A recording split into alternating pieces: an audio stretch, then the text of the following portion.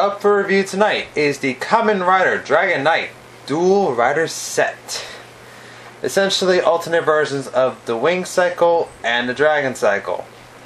So as you see here in this packaging, there's depictions of um, Wing Knight and Dragon Knight on the sides, along with their gimmick, which I'll show in a bit. And on the back, more pictures of them and their gimmick. But everything else is nothing new. The drag visor and the six figures already released. So nothing new besides that. Okay, so enough about the packaging. Let's get started on the toy. Okay, here they are outside the packaging. Now, the toy was originally said to have come with two advent cards. I only found one packaged. Uh, Kamen Rider Spear Spin Vent. I haven't seen any other card inside its packaging. I checked all over. And according to instructions, if you can see, uh, this was the only card that this toy is supposed to come with. So I'm not sure Bandai was right when they said that. Yeah. Okay, enough about the card, on to the toy itself. Now, these toys do come with two translucent figures of Dragon Knight and Wing Knight in their respective colors. Unfortunately, these toys were made the same mold as the original bike figures. So, articulation wise, the head can turn, arms go up and down, don't twist. But the legs move simultaneously. Stuck in rider mode. These figures are probably good if you have the advent cycle. You can put the light through there. Otherwise, not the best bonus. Now the bikes themselves. Uh, these bikes have been stripped of their electronics, however, because of this they are much lighter. And this will come in handy later. And for the set, they are in a battle damage style. So they're pretty scuffed up all over, even on the bottom. Nice detailing of it all over. Like these are more actual scratches, dents, than just paint, which I like. The Dragon Cycle looks the worst. It actually looks like it's been hit by a Velociraptor. Scratches all over.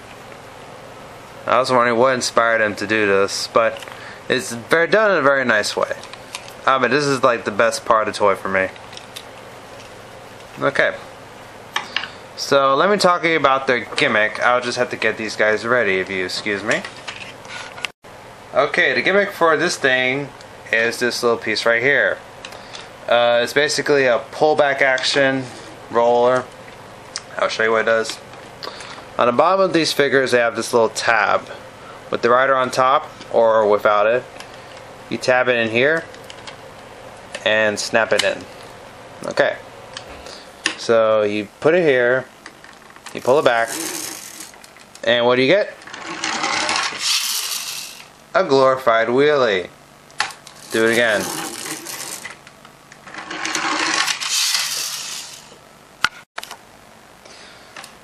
Now it's Dragon Knight's turn. Yes. Okay, so. Yeah, you can roll these and it's basically a glorified wheelie. However, these are the same molds as the original bikes. And so happens that the original bikes can also fit on this. Alright, and pull it back. Now the thing is that rolls here fine, but when I tested earlier, this bike ran much more slower on the ground than this bike did. So I'm assuming that the electronics held it down. Alright. I'll show the wing knight by itself.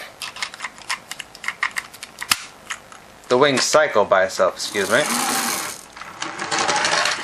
So yeah, it runs fairly good. Also, because these bikes have a similar mold, the plastic flame decals from the original bike can also fit on these bikes from the Dual Rider set.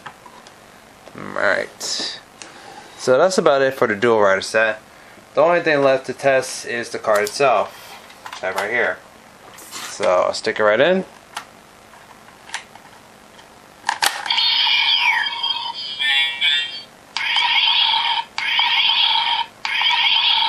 Alright, so that's about it for the dual rider set. Uh, I got off Amazon for $25.99 I think. And it's not available in stores. And I would rather wait for it to be in stores because most likely the price may drop because again it's just two empty bikes in one card. May not be worth the $25.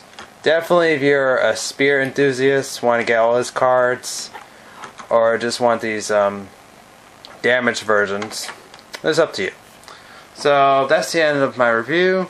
Uh, thanks for watching. Have a good night.